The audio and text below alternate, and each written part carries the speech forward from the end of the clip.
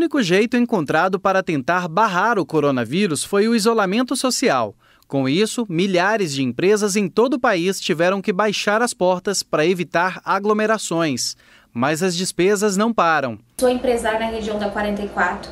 Atualmente estamos trabalhando em casa com as vendas online, porém nosso faturamento caiu mais de 80%, tendo em vista que minha empresa hoje sustenta mais de oito famílias indiretamente. Para ajudar a aliviar as contas, o governo do estado liberou um crédito emergencial de 500 milhões de reais dinheiro que será negociado por meio da Goiás Fomento e do Banco do Brasil. São basicamente quatro linhas.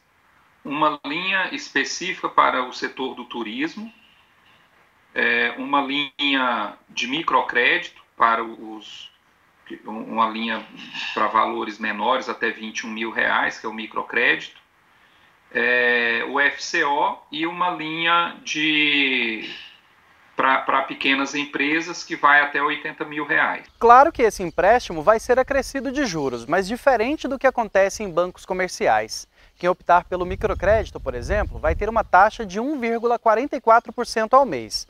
Quem fizer o uso por meio do FCO vai ter uma taxa pré-fixada em 6,49% ao ano. O mesmo também acontece para quem fizer o uso do dinheiro para turismo, de 5 a 7% ao ano, mais o INPC. Os prazos de carência variam de 6 a 12 meses, de acordo com cada linha de empréstimo.